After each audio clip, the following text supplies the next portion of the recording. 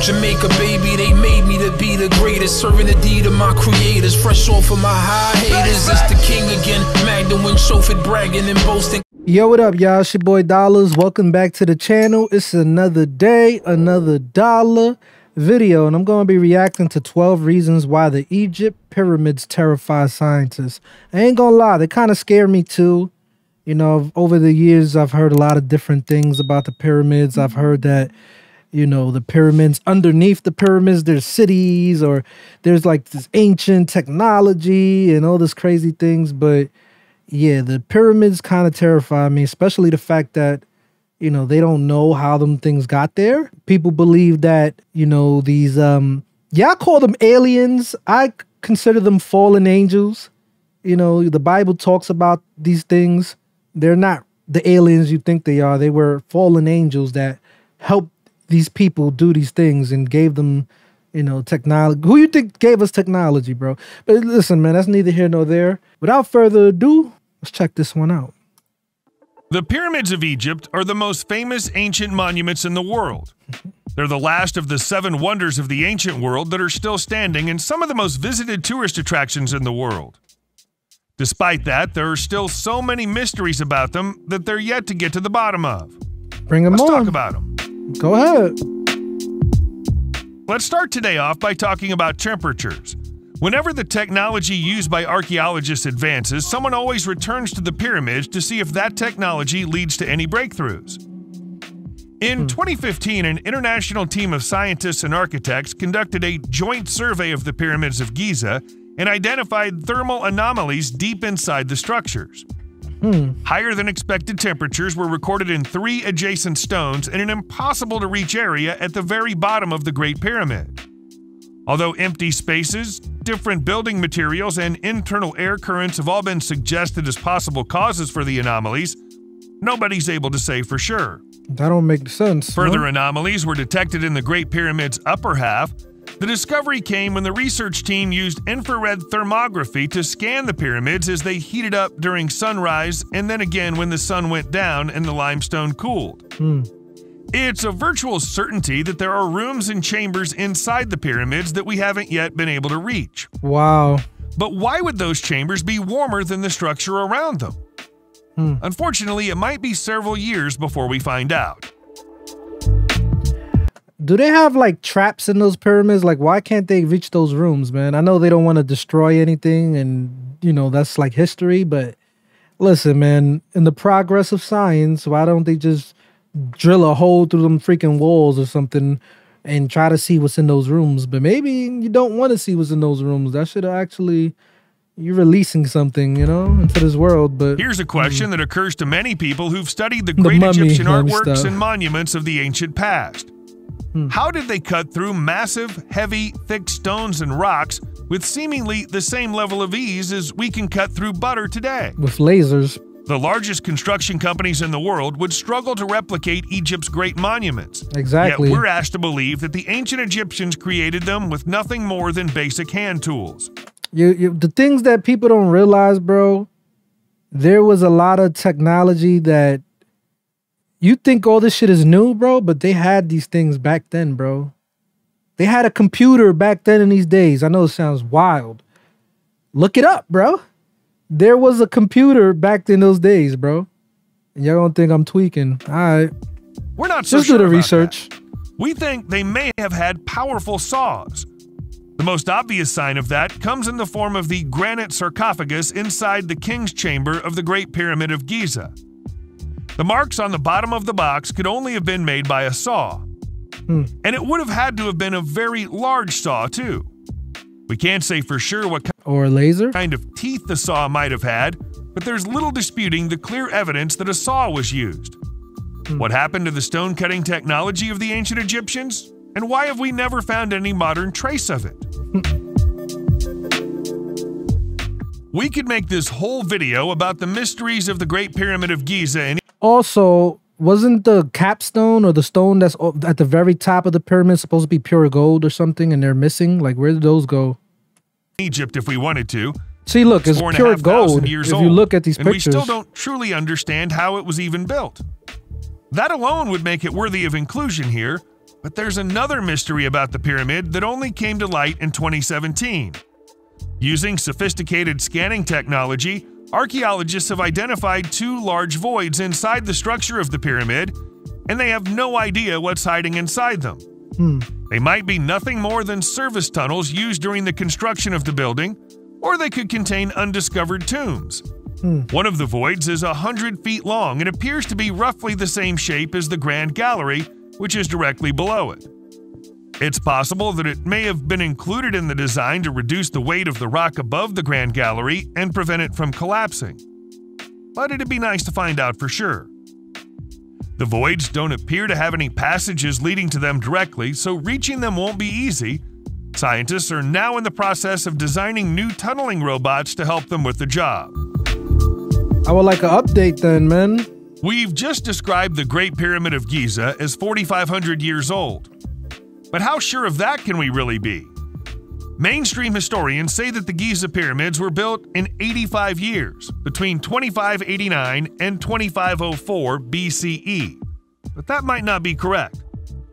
The estimate comes from radiocarbon dating tests carried out on material from in and around the pyramids in 1984.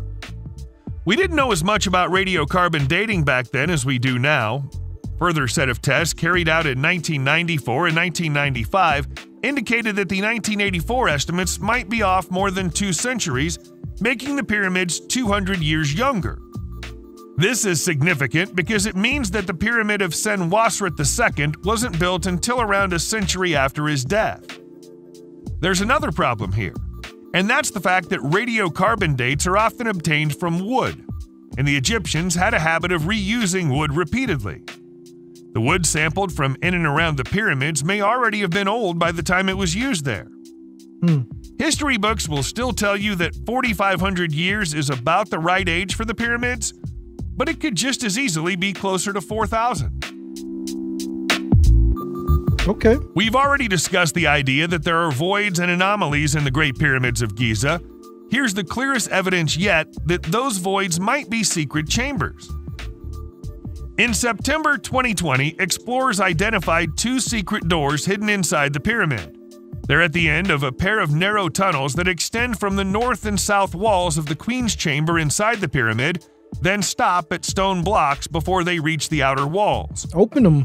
There isn't enough space in the tunnels for a human to explore them, but a robot called Wepwawet was sent into the space and obtained pictures of a small stone door with what appear to be two copper handles attached to it. Open it. The same robot also took pictures of faint red hieroglyphs painted onto the walls. The hieroglyphs are rough, almost like graffiti, so it's possible they're guide marks left behind by the stonemasons who built the pyramids. These shafts can have been used for ventilation because they don't open up to the exterior of the pyramid, but they're surely too small for humans to have been expected to navigate them. So how they got it open? How they Building built a door implies that there's something worth protecting behind it, though. Hmm. What could it be? Protecting or keeping out, or keeping from getting out. Hmm. Here's an idea that you've probably heard before. In fact, it's an idea that's been repeated so many times that people believe it to be true, even though the evidence upon which it's based is tenuous at best. They align with the stars. In the 1980s, Egyptologist Robert Bauval claimed that the three pyramids of the Giza complex are perfectly aligned with the stars to make up the belt of the constellation of Orion in I've the heard that before too. He followed this up with a book called The Orion Mystery, which he released in 1995. Hmm. The book became a New York Times bestseller, and the idea took root in people's minds. The problem is that the whole concept is a little dishonest. You can't make the pyramids line up with Orion's belt unless you invert one or the other. Surely, if the Egyptians intended to reflect the position of the stars, they'd have arranged them in a way that didn't necessitate this inversion. Secondly, the three pyramids weren't all built at the same time. There's no evidence to suggest the third pyramid was planned when the first was built. Thirdly, the positions of stars in the sky change over thousands of years. The stars in Orion's belt don't look the same now as they would have 4,500 years ago. Are they aligned or not? As though? That's impressive as the pyramids look today, they looked far more impressive when they were first built. After standing exposed to the elements for over 4,000 years, their exterior surfaces are a little rough and lumpy. Damn, imagine how they look when they were built, bro, in the beginning. That must have been a beautiful sight. When they were first completed, they had stunningly shining, glistening facades that would have made them appear almost as if they were made of glass. Damn, imagine seeing that from, from far away, bro. That would have been a beautiful sight to behold. According to Jacquelyn Williamson, an Egyptologist from Harvard University, the casing stones that made up the external facades of the pyramids were polished to a high degree using abrasive materials like fine sand, sandstone, and even brick to produce a smooth finish. During the peak of the day, when the sun was high in the sky, they would almost have seemed to glow. Williamson is 100% certain about her findings and insists that the time, effort, and precision involved in the polishing process means that the quality of the craftspeople who worked on the pyramids was even greater than we've always imagined it to be. Um, of course. As for what happened to these shiny facades, they've naturally they probably would have been the better freaking construction workers than we are today. Faded and crumbled over time. But some of the casing stones were removed long ago to be used in other building projects, thus accelerating the decline. Hmm. We know from Egyptian historical records that the Benben stone was supposed to have supernatural qualities. It was once found in the Temple of Ra at Heliopolis and was the first place that the rays of the sun struck every morning. Is the tip, right? The original Pause. stone is long lost, but it influenced the design of several sculptures and statues that still exist in Egypt today, including the capstones of the famous pyramids. The stone is thought to have symbolized the phoenix, an important creature in Egyptian mythology because of its ability to survive death and return to the living. Some historians believe that Benben represents the seed of the phoenix on the account of the fact that it's been loosely translated as fertilization in the language used at the time the Temple of Ra was built thousands of years ago. One legend says that the Benben was the mound that rose from the waters of Nu when the great god Atum created the world. If you've ever heard references to the Stone of Destiny in folklore, they were references to this hmm. mystical stone. I never heard nothing about this before. I heard about the capstones. You are not allowed to climb the pyramids today, but in the late 19th century, there were no such rules. British inventor and explorer Sir William Siemens decided to climb to the summit of the Great Pyramid. I ain't gonna lie, I would have been too scared to climb that. Even if you could climb it, like, I don't know, bro. That just seems like bad luck, bad juju to climb that shit. When he got there, he was concerned about a prickling sensation emanating from the tips of his fingers and spreading through his hands. Hmm. A few moments later, he took a sip of celebratory wine from a metal cup and received an electric shock the instant his lips touched the rim. Hmm.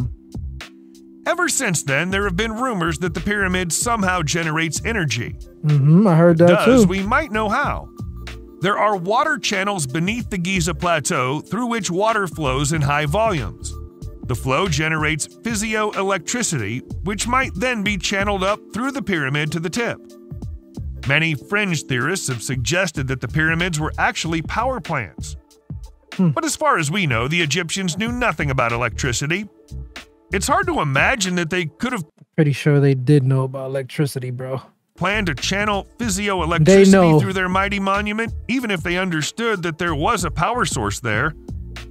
But it's odd that the system seems to work so well. They probably didn't know how to use it or what it could be used for, but Speaking they, they know of strange about theories about the pyramids, if you remember the U.S. presidential elections of 2016, you might recall that Ben Carson stood as a candidate for the Republicans. Carson espoused a bizarre theory that the pyramids were nothing more than enormous grain stores. Not only that, he believes the pyramids were built by Joseph, as in the biblical figure. Hmm? Carson is a Christian religious fundamentalist with some pretty weird ideas about a lot of things, but he's way off the mark with this one. I'm Christian too. I never heard that theory. His interpretation comes from a passage in Genesis that says God told Joseph to gather up all the food of the good years to come and lay up corn under the hand of the Pharaoh, letting him keep food in the cities. Hmm. Note the plural. That's cities, not city. For this interpretation to be literal, there would need to be far more pyramids in far more cities.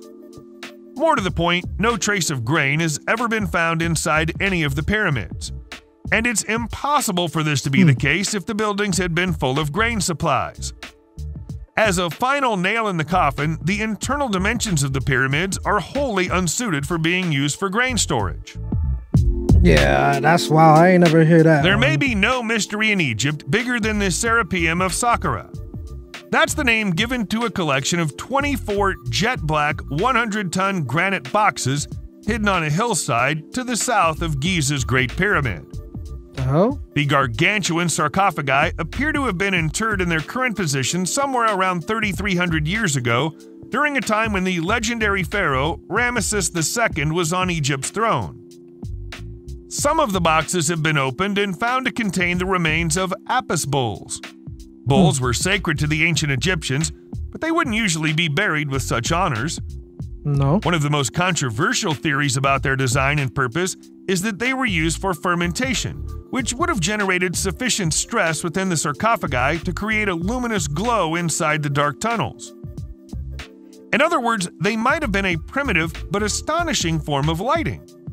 The majority of Egyptologists reject this idea out of hand, but they don't have any better explanations of their own. Hmm. If the ancient Egyptians were capable of creating a lighting system from the gases of decaying bulls, they were even more astonishing than we already thought they were. More advanced than y'all thought they were. I don't doubt them. It's a commonly held theory that there was once a fourth pyramid on the Giza Plateau.